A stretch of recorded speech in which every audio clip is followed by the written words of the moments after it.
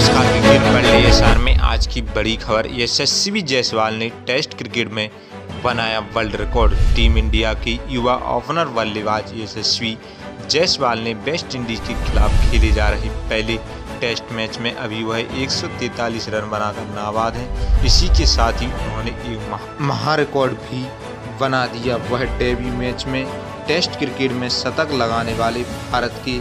सातवें खिलाड़ी तथा वह विदेशी धरती पर डेबी मैच में शतक लगाने वाले भारत के पहले खिलाड़ी बन चुके हैं